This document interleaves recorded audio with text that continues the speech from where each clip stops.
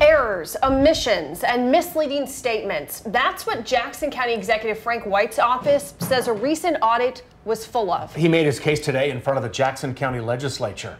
KCTV5's Amy Anderson was there, and she joins us now live from Kansas City, Missouri. Amy? Well, Brad, it was not a comfortable atmosphere inside that session this afternoon. But the one thing that prosecuting attorney Jean Peters Baker and County Executive Frank White do agree on is that it's time to move forward and do what the voters of Jackson County have asked them to do.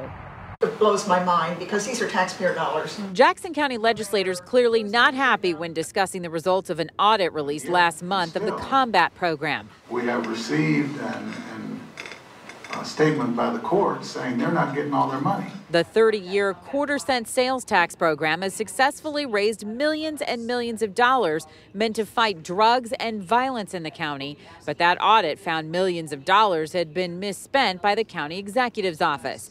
Both Frank White and his chief of staff, Caleb Clifford, presented a report of their own, arguing everything from who the auditors talked to to whether it's really an audit at all and not just a report.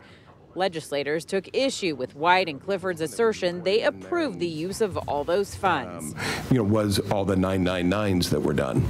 So there were some of those done out of there, including for your truck. That's absolutely right. So that is all, you know, things that we did not approve. So, I mean, I don't like it when the general public hears the legislature approved everything.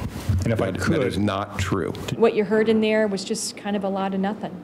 Jackson County Prosecutor Jean Peters Baker called today's presentation nonsense. It's a hard environment to work in, um, but you gotta you gotta um, summon your better angels in this job someday, like today. What both sides did agree on was that it's time to move on. Let's let's try to uh, move forward in a positive manner and and not deal in I got you politics, but just deal in uh, what's right for the taxpayers and what's right for our community going forward.